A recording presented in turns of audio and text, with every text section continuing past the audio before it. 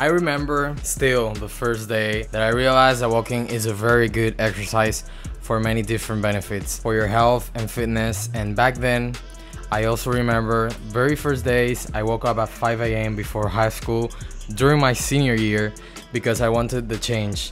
And let me tell you that one of the most consistent habits that I had and I still have is by walking almost every single day for some form. And moving forward three years ago until now, walking has been one of those activities that has changed my life. And this is my motivation to create this video. By telling y'all why walking is one of the most underrated activities and how you can use it to your advantage to have a better life and also a healthier and more active life. So let's get into it. Number one is that you are mindfully more in the present moment. Amazing, right? So one of the first benefits that you will experience when started to walk every day is by being more in the present. This is number one because while you walk, you see all the vast environment around you and breathe the fresh air and also all the animals, the fire, all the birds you see.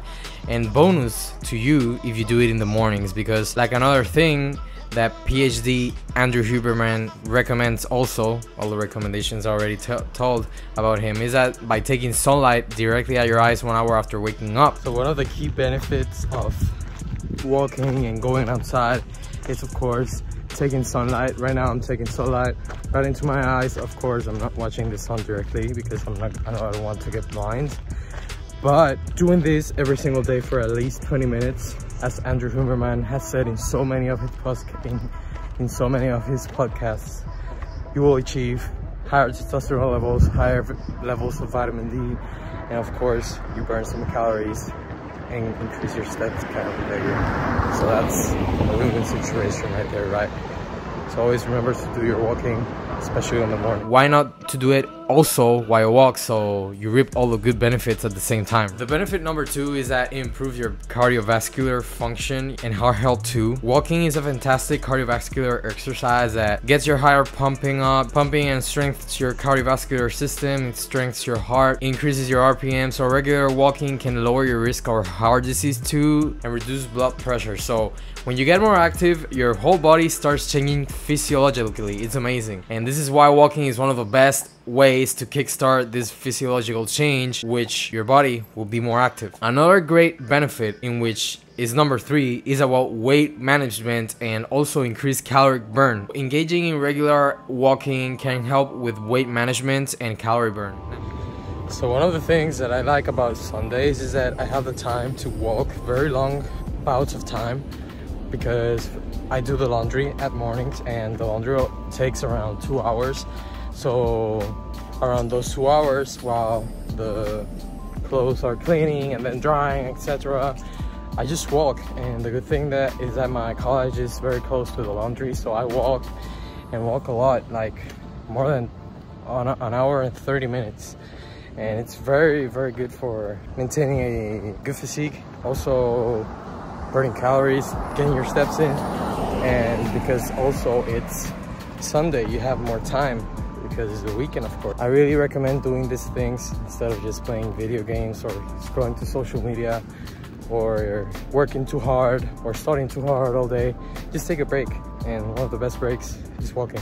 Now, walking is a low impact exercise that can be easily incorporated into your daily routine of course.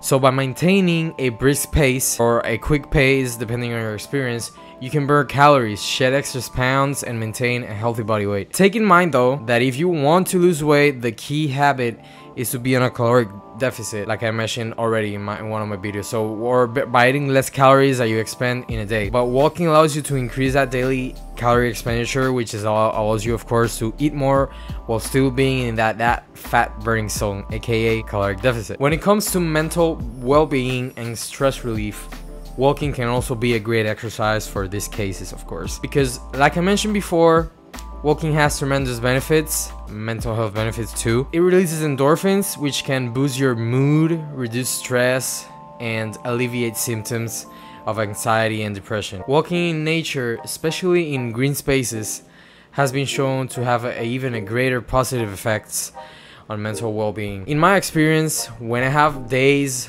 or weeks where my stress is higher than normal because of studies or too much work or just some, some events in my life that leads to more stress. I realized that if I just take one a 30 minute walk, it will reduce my stress levels a ton. So that's why it's also one of the best benefits. It reduces your stress. So if you feel down, make sure to just get up, go out of your home, walk around in town or go to the gym, go to the fat mill and walk for some 30 minutes.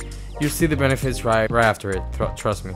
As a bodybuilder who has been in the game of lifting weights and also expanding my comfort zone by progressive overload and lifting more heavy weights or more reps, more sets. I have experienced some pain in different areas of my body and also in my joints, but one of the key exercises that have made me keep the pain in bay or by reducing the pain is by walking and walking has also helped me in this because if you have pain especially in your joints the best thing that is by not staying immovable okay Instead, you should at least do some rehab exercises. One of the best ones that you can do, of course, is by walk because your joints working well is by walking because you engage your nervous system and this way your pain reduces and it also helps you by managing the pain easily. So I'm no doctor, so make sure that it go to a therapist if it's a severe case, of course. So I have been watching lately videos about this doctor called Peter Attia, in which he has talked all things about longevity. And when it comes to exercises to improve this, to improve longevity, walking is one of those exercises that you can do. Yes, you should do zone 2 cardio, but if you increase your steps to the recommended 8,000 or more daily steps a day, is way better for you because the average American only walks around 3,000 steps, and that's way too low for optimal health conditions because studies have shown that regular walking can increase longevity and promote overall health, lower the risk of various chronic diseases, like, and also improve your immune function and contribute to a healthier, more active lifestyle like I have mentioned. So get off your couch in your afternoons and take some time to walk. Just by doing that, you will improve your health in so many factors that it's just incredible. So here's the takeaway. Walking has so many benefits that from fat loss to improved longevity, this is one of the easiest ways to start your fitness journey, just like I did more than three years ago when I really wanted to change my lifestyle. And walking was one of the first steps for my change in my habits. If you want more awesome advice like this, make sure to subscribe to my channel. And if you like my video, if you enjoyed a lot of new things in this video about walking and to make new habits. Lastly, if you enjoyed the video, make sure to leave a like. Don't forget to, again, lastly, work it, enjoy it, and master it. See y'all in the next video.